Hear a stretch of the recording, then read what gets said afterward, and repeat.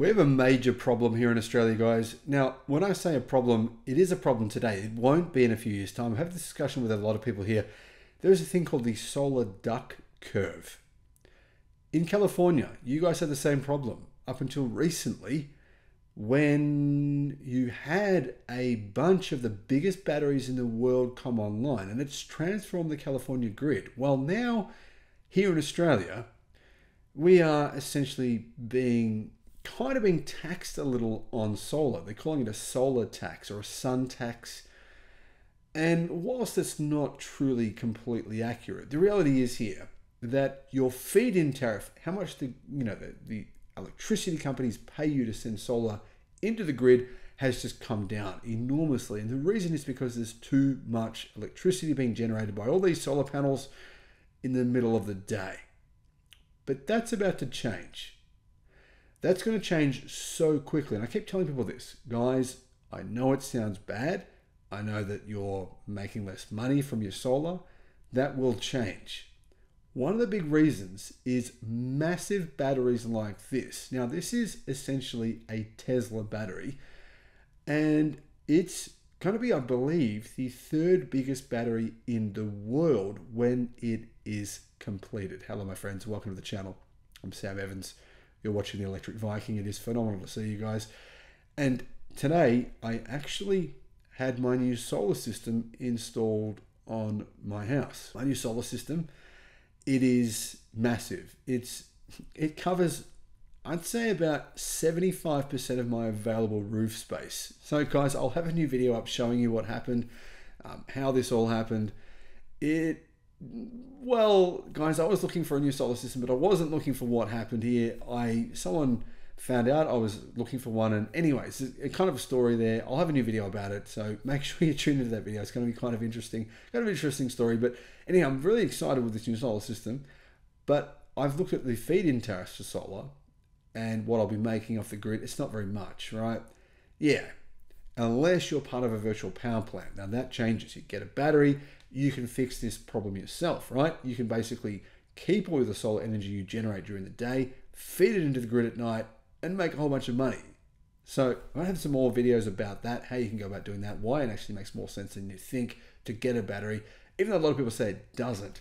Speaking of batteries, this massive battery is in Western Australia. Now, from what I've seen, guys, Western Australia, the key city there is Perth. I lived in uh, Western Australia for two years, and I barely remember it not being sunny.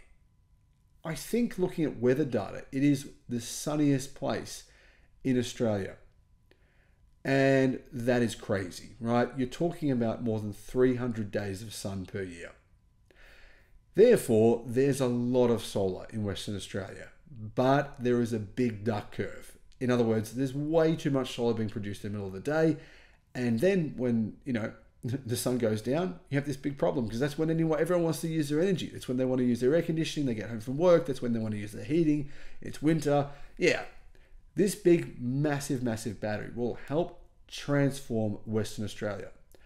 And it's basically going to be so big, it's being built in two stages. The first stage is a 219 megawatt, 877 megawatt hour um, massive battery. And that will soak up huge amounts of rooftop solar in the middle of the day, shift it to the evening peak, like what you guys have done in California. This will unquestionably make electricity cheaper.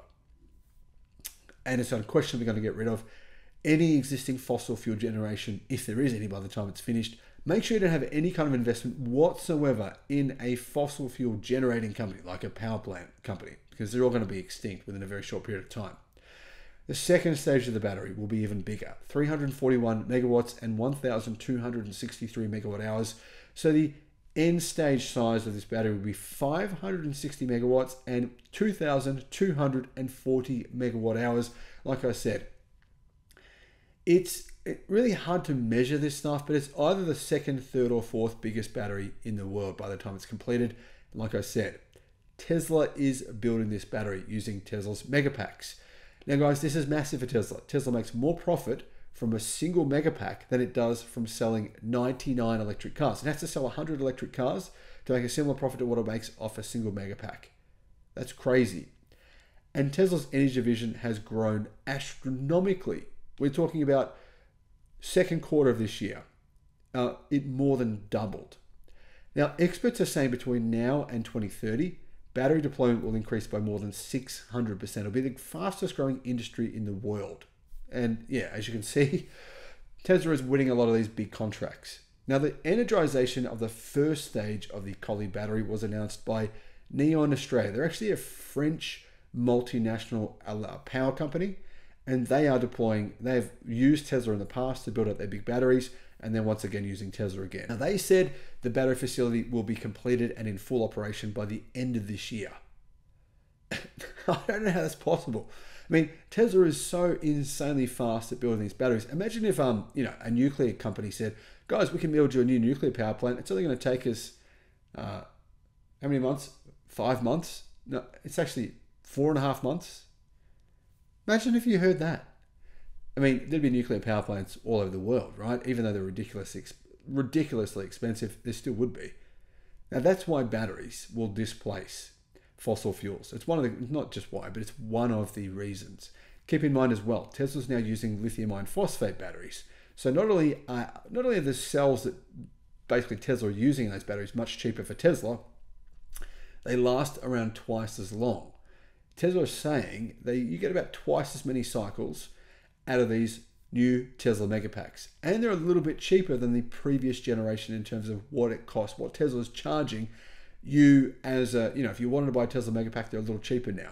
Now, if you buy this many Tesla Megapacks, Tesla will give you a big discount. So we don't know exactly what kind of profit Tesla would make in this situation, but it would still be a hell of a lot of money. The Collie batteries are being built along a nearby 500 megawatt, 2000 megawatt hour battery being developed by state generation company Synergy in the same city that has hosted the state's coal generation facilities for half a century. So these batteries will basically, along with solar, get rid of these massive coal power plants. So what we're talking about, guys, here is two mega batteries. The second of these, Tesla's not building this one. It's being built by Synergy, a 500 megawatt, 2000 megawatt hour battery. Now the Tesla one is 560 megawatt and 2,240 megawatt hours.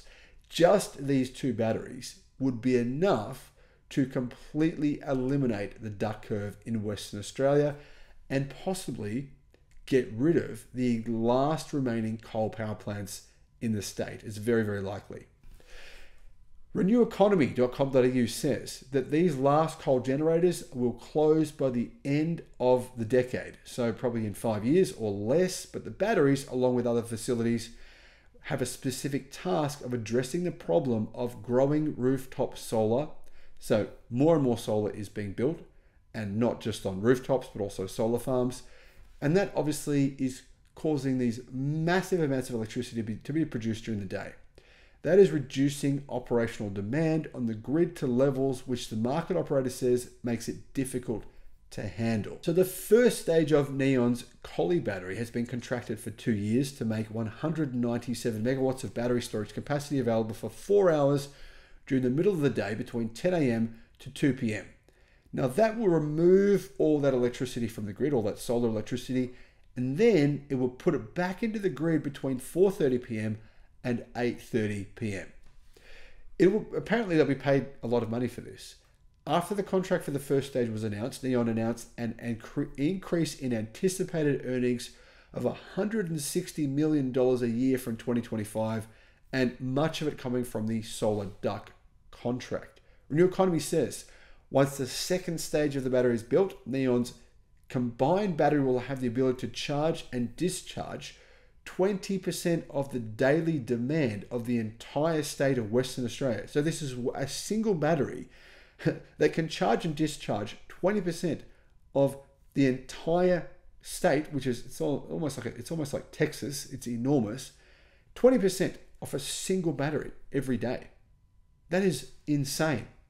Neoen is currently under a 10 billion takeover bid from Brookfield, but they did build the Hornsdale battery, uh, the, the Victoria Big Battery at Moorabool, and the Bulgana batteries. It's commissioning a battery in the ACT it's building its Western Downs battery in Queensland and the Blyth battery in South Australia. Now, many of those batteries were built by Tesla. And interestingly, um, Neoen they have they actually built they built some of these batteries in a first stage by Tesla, and then they've said to Tesla, well, that battery works so well, we made so much money, let's double the size of that battery. So batteries are incredibly, incredibly valuable when combined with solar. And because of the lowering cost of batteries, the declining cost, and the increase in their lifespan, it means that they're simply a no-brainer. And it means that Tesla makes a lot of money whilst we don't have to waste our solar anymore. Thanks for watching.